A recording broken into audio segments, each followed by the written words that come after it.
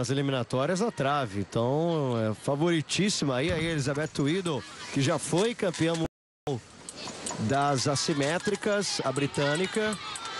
Vamos ver como é que ela vai se comportar aí, porque ela não pegou vaga, né? Para a final desse aparelho, surpreendentemente.